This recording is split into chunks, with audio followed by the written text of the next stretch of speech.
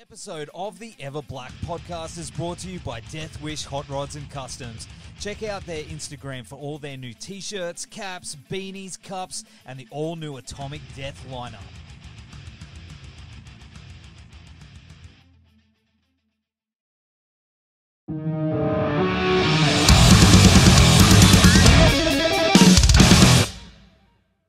Yeah, it's been.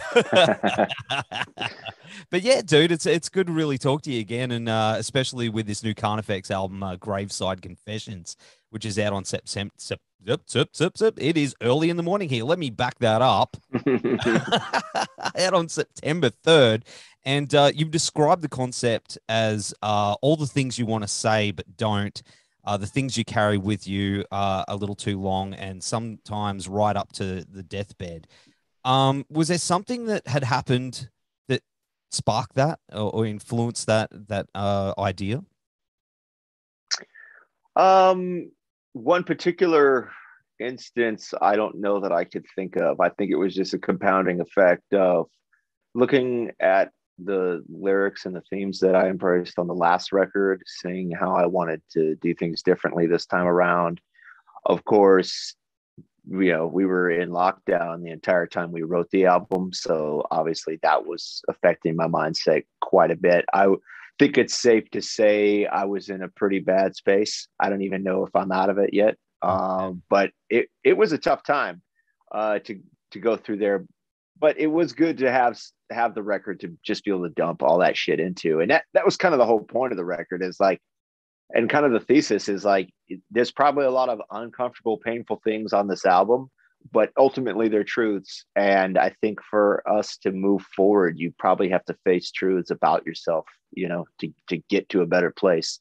And so i think that the purge of writing the record uh hopefully is that journey towards a better place. You know I, i've found over the last 12 months that's been a really big theme that's coming through with people personally. Hey, it's about a lot of people are facing a lot of truths in you know, and it and it can be very difficult. Hey, mm-hmm. you know, but um, yeah, I'm with you there. And it, for us, you know, the band has always been kind of like, you know, even though we're putting a lot of negativity into the music, it's kind of it's a catharsis. You know, it's it's like vomiting out the poison. If if the longer it stays inside you, the worse it gets. And then once you, you get it out, you're like, ah, that feels better. So that was that was basically where we're coming from. Let's just put all the our insecurities, all our vulnerabilities, all our regret. Let's just put it here in the record and then move on from it. Try to anyway. Well, in regards to the record, it is heavy as fuck, and I love it. and thank you. And that opening title track, it's just it's so good, man. I think it's one of your best best tracks, to be honest. Uh, you know what? Yeah, I, I am inclined to agree with that. Uh, you know, Corey and Sean wrote that one, and that's they're basically the Carnifex sound. You know, like uh, Sean wrote all the early records. He's been a main songwriter ever, you yes. know, from day one. So to have those two guys, and then oh, of course we also weren't touring you know we're, we're we're uh, just focused on the record. So i think when you put the two of them in a room and you say look the only thing you got to worry about is writing a record uh you definitely get a pretty badass record out of them oh man it's so good. So good. And uh, you recorded three tracks from your uh, first album dead in my arms which is 15 next year. Holy shit. I mean i remember having that in the scene man it's brutal. Um what inspired you to revisit those ones? Fun you know, uh, we were trying to counterbalance how grim real life was, you know, and uh, really we told ourselves, like, let's embrace fun on this album. Let's just have a good time. And so we, not only in the theme of like, you know, we when we wrote that record, we were a four piece. When we wrote that back record, we had no expectations. You know, nobody cared. No one was listening. We were just kids having fun and we wanted to have that feeling again. You know, we wanted to know ha- not worry about expectations, not worry about if it sells, if it doesn't, if it's cool, if it gets a, turned into a meme or goes viral. Like we just really said, you know what, guys, let's just write music we love. Um, people pick up on it, good for them. And uh, this year is also 10th anniversary of uh, Until I Feel Nothing. Are you planning on doing anything to celebrate that? Uh no. no, no, nothing on the books. Uh-uh. We joked that that's the forgotten record, you know, because it was a, the last one that we did for Victory, and Yeah. uh, it's like our worst selling album. You know, nobody fucking bought it. Uh, it wasn't promoted well. The whole deal. So, uh, no, nothing planned for that record. I, I kind of forgot about that one, to be honest with you. Yeah, I mean, still, I mean, it's still a, a chapter in the in the story. But hey, man, you It know, is, yeah. I, I think back to those times, and it was actually a really hard time for the band too. So uh, may, maybe that's why it's easy to forget that. you went, "Uh, what 2010, 2011? Don't even remember. it doesn't exist. Yeah. Well, you, you tracked the album uh, with your drummer Sean. Um, was that his house or a jam space, a studio? We're here right now. Um, this is where we did the record. Yeah, right here in the studio. That's mad. Yeah. So basically, I mean, our station's just right there, and you know, Sean just sat there for a year, right, and recorded all of us, and did you know just messed around with it and, and made it perfect. Mick did the mix and the master, so it was pretty in house. You know, it was really just the four of us and Mick. That was kind of the only people that worked on the album. Talking about Mick, Mick Kenney from uh, Anaal. Yeah. man, that dude Yeah. is he's an absolute lord, man. He, How's it working he with is. him? He's he's got to be my favorite, like you know, person to work with because he he he like gets it. No ego, no attitude. Here, here- I did a bunch of stuff. You know, tell me what you like, tell me what you hate, and it's like just that easy. Keep all this shit, get rid of all that shit. Okay, done. What else do you want? You know, it's just like super easy to work with. No attitude, just wants to make the record great, which is exactly what you want when you work with somebody. That's it. He's one of my favorite songwriters too. So He is. He's a, he's Together. really prolific. Oh, unreal, unreal. But uh, you also had have your cover of Korn's "Dead Bodies Everywhere" on here as well. Um, did you hear anything from the Corn dudes about that? No. Not a word. Uh. They fucking should because it's really good. yeah, unfortunately, that's not really how covers work. I think they just they probably think we're some local band, you know. Local band, come on, mate. Come on, mate. but uh, uh, of course, I mean, you had a bit of a, a lineup change with Jordan leaving uh, earlier last year. Are you still planning on moving forward as as a four piece? Yeah, I think so. You know, see, Jordan left the band in November of 2019, so it was prior to COVID and and prior to r- writing a new record or anything. So when see, we did one tour in 20, and that was uh, we went to Europe with Thy Art Is Murder, and we had Neal Tiemann playing guitar with us from DevilDriver, really fucking awesome guy. And we actually asked him, you know, hey, do you want to join? Uh, after we did the tour, just because we had such a great time together and he, he was already committed with DevilDriver. And I think after that, we were just like, fuck it, we'll just continue as a four piece. You know, Sean had already started writing a bunch of songs, and obviously the lockdown had hit. Um, Yeah. You know, we, it's not like we were going to be playing any shows. So what was the point? We just said, you know, our first record, we were a four piece. Um, you know, me, Sean, and Corey, like we've basically been in the band since day one. You know, Fred's the newest member. He joined in 2007. So at this point, we're just we're so dedicated and so invested that um yeah, if the four of us can't pull it off, what the hell are we doing? Oh man, I can't wait to see you guys again. Hopefully, uh, sometime soon. It's gonna sound huge. Yeah, yeah. you know, into 22, beginning of 23, maybe somewhere in there. Uh, you know, hopefully we can find the right promoter, the right band to bring us down, and and we'd love to get love to get there. I know one band. Oh, who's that? Thy Art Is Murder. Oh, hell yeah! Tell tell Mark know, to bring us on Yeah. Fuck yeah. Imagine that. Let's go. Man, Hey, we're we're ready. All they gotta do is ask. We'll be there. that that would be pretty awesome. I'm just putting it out there. You know, don't jump up my ass, all you people out there. Just I, I'm just just dreaming, mate. Just dreaming. But um, of course, I mean, you've also got this competition going on where you're giving away seven string Ibanez. Now, I don't know if that includes Australia, but um, that's really fucking cool, man. I think it's worldwide. Um, yeah, you know, it's uh, from Ibanez, uh, who that you know they've been our sponsor for us since like 2008, I think, kind of one of our main sponsors. So it's just a chance for us to try to like give something back to the fans, make it exciting, and also you know promote the new record. so Yeah. hopefully, uh, people can uh, you know check out the album, enter to win. Maybe you got a guitar coming to you, and I think we threw some merch in there too. Oh, that's awesome. That's awesome. Gonna have to do it. It's pretty damn. Do cool. it. Yeah, it's a good looking piece. That's what I got to say. But uh, it's also coming out on cassette. I'm finding that's that's becoming something that a lot of collectors are doing now. Are you a collector as well? Do you do you like the old cassettes? Um, I don't know about cassettes, uh, just because I have no way to play them. Uh, but vinyl, yeah, I do have uh, some vinyl, and you know, cassettes. Uh, you know, that's it's the answer to no one buying CDs. You know what I mean? you're just you're basically trying to come up with you know just any physical medium that uh, tape, CD, vinyl, eight track. What the fuck will you buy? Anything, you know? uh, I mean, the, you know, the reality is, it's like music's digital now. It's just, Yeah. it's just a fact. So, really, yeah, if there's someone out there that wants to pick it up on the different medium, we're all fucking for it. You know, uh, I think vinyl is probably your best bet because of the size. you know, you yes, get the yeah, yeah, you yeah, get the yeah, the album thing, yeah. cover. Big, uh, I think the vinyls themselves look pretty great this this time around. Mm. Um, and then you got all the lyrics, you got all the thank yous. You basically get the the full package and probably the, the best looking version of it, you know. So I'd say go with the vinyl if you if you're a collector. And the tape's sold out anyway. So Oh, there you go. Two seconds, mate. Darcy, Darcy. I have a labradoodle who's a labradontal. She's labradont. Shut the fuck up. Labradoodle, shut up. she wants to be on the show.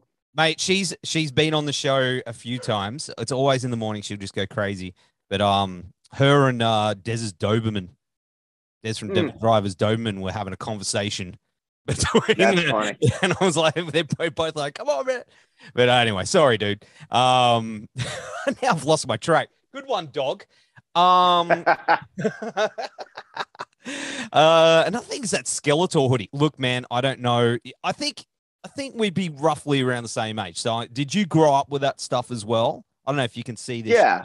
but Yeah, um, I, I was born in '84, so um, you know I grew up with all all the the He-Man and Thundercat commercial and GI Joe, all that stuff. Yeah, absolutely. Uh, you know, we really tried to embrace a lot of that stuff on World War X, like with collectibles and doing the VHS throwback, trying to really build a world um, that Skeletor probably would have fit into very nicely. Uh, so yeah, I think that's always been kind of part of us. You know, we're all we're all born in the 80s you know we're all 80s kids so i, I think that's just going to be part of us that's awesome because I'm all about it. I'm in a band um, that is named after that. So I and collect all that stuff. So when I see that stuff and merch for other bands, like I got to have it. yeah I'm like, take all my money. hell yeah Yeah, I love it. I love it. But uh, you're going to be hitting the road with uh, Black Dahlia Murder and After the Burial just in time for the album release. Uh, man, that tour looks like it's going to be incredible. it will be incredible i i've been dreaming of it for a very long time that was a that was a covid tour that's been kicked back like Yeah, four or five times now so for it to finally be happening I, it's just like let's go already like it's still what two weeks away it's like man that thing is never going to be here it's like a parole date you know Oh, mate, it slows down, but it's going to be so good. Man, I would love to see that down here. Like Thy Art, you guys, Black Dahlia. Man, uh, Hey. man, That all they got to do is ask we'll be there I'll just, I, I got to buy some lotto tickets and then I'll, yep I'll make it happen, man. I'll make it happen. But I, I would love to see that. That man, anyone that's over there, if you get a chance, get your tickets because and and like take pictures and show me because I can't wait. I want to see that shit. It's- it's gonna be a hell of a tour. I, I'm stoked for it. Been dreaming Man. about it for so long. So good. So good. So I mean, over the last year, um, we've lost some amazing musicians um, that have been a massive influence on on many people, like uh, Joey Jordison, and it, it is unbelievably sad that you know someone like that that uh, everyone I know has was influenced by him. And and you, I did like you you put up a little post saying you know that you feel like there was no Carnifex if there was not Joey. Can you elaborate on that? That's true. Yeah, it's it's actually really simple. You know, Joey Jordison is is Sean's single biggest musical influence, all the way down to the fact that the reason Sean picked up guitar and started writing music in addition to being a drummer is because of Jordy, uh, Joey. You know, and so I think that our original sound, you know, doing those those first couple songs that we did back in 05 and 06 that was you know sean's drumming style is so, i mean listen to the fills on my heart in atrophy and slit wrist like the, they're joey's fills you know and yeah, he'll t- yeah. be the first person to tell you that. And so if there was no joey there would have you know sean wouldn't be who he was which means carnifex wouldn't exist. So it's it's a straight line in my opinion. As far as the loss yeah it's it fucking sucks that it's it had to be like that. And it's it sucks that it was so it just highlighted how lonely a musician's life is. You know, it's like you do you you do what you can. You're fighting for the dream. I know he wasn't happy with not being in Slipknot anymore, and I'm sure he was feeling very unresolved. And yes. you know, like you try. How do you get back to that? I'm sure he he like racked his brain trying to figure out how to get back to that that level or to that period of time where he was able to express himself as fully as he was. And uh, it just speaks to the peaks and valleys of being an artist. And you know, wherever he is, I hope he's good. Yeah, me too, man. Like, what an unbelievable dude. Like music truly changed right at that that first album. I remember that moment I heard it, being in the walking into this record store and seeing the poster and being like, "What the fuck is this?" right? listening to yeah. it on the headphones, the big headphones. I, I don't know that that deathcore would be what it is without Joey. To be honest with you, like because I think yeah. all these deathcore drummers were were Joey Jordison kids. totally. You know. Totally. Um, it, it's just kind of a matter of fact. I just so yeah. I mean, he he he left an indelible mark on the industry. I, I really wish he was still here. Man, me too. Me too. But it's, I mean, talking about your influence, I mean, I know a bunch of dudes who who love Carnifex down here, especially back in yeah. the day. I used to work in a CD shop, man. I remember stuff on the shelves and and like just dudes frothing it, you know, like. Yeah, it's kind of a trip. Uh, I mean, we were really just in it for so long that it, we never really had a, the time to sort of step outside of it and and uh, I guess appreciate kind of what we had done at large, so to speak even right now, it's really hard to, to understand, you know, because it we're in like in a, such a challenging place as a band right now, and like you know, uh, I feel like we just got knocked down to size. You know, it's like we're just like a local starting all over again. Um, so it, it, I feel very detached from that sentiment, but I hope we can get back there. Oh, you will, man, for sure. Once I start touring again, man, that's what we need. You know, it's just like, dude, being off the road for, I don't even know how long it's been now, 18, 19 months, whatever it is. It's, uh, it's, it's, it's, uh, not how you can't be a band like that. Yeah. Frankly, at least I, I can't be in a band like that. You know, live performances are really the heart and soul of, of not only of our music scene, but of our band, of our artistic expression, mm-hmm. of everything. But you, you played a couple of shows recently, didn't you? Yeah, we, we, thankfully we were able yeah. to. We did twelve dates uh, in the Midwest, uh, and they were fucking phenomenal. Like uh, selling out venues we never sold out before in small, you know, small towns where we we don't normally go. Um, and then of course the the merch is just out of control. So it was a taste. It was a taste, but uh, just dreaming about getting back to it. Oh man, big games, couple of weeks, mate happening. It is right. the yeah, big game, yeah. Yeah. The big game's coming up. I'm looking forward to it. Man, I'm so stoked for you. But uh, uh, of course, tours coming up, albums coming out. What else uh is on the cards, man? What, what do you got cooking up for into 2022? Well, we got a couple more tours. You know, we're doing a co-headline with Chelsea Grin in Europe, January, February. We come back here May June we're doing a big headline tour uh, co-headline tour I should say that we'll be announcing I think we announced it in December okay um, and then uh, I don't know. You know, we're probably gonna start working on another record. I know we want to do another record really quick, um, and hopefully get down to Australia. You know, into 22, beginning of 23, somewhere in there. If we can get, you know, we just got to get someone to bring us down. Really, Summer, beers, yeah, barbecues, party. hey, Let's do it, man. sign us up. Yeah. well, man, it's been awesome hanging out with you again. Uh, of course, the new Carnifex album, Graveside Confessions, comes out on September 3rd. We'll have all the links down here. Brother, you take care. Have a blast on tour. I wish this was a beer. I'd be toasting you. But have a blast on that fucking tour, man. Send all my love to all We the are. boys and um, stay safe, all right? I will, man. Thank you for having me on the show. I appreciate it. Take care, dude. See you later. All right, brother. Later on.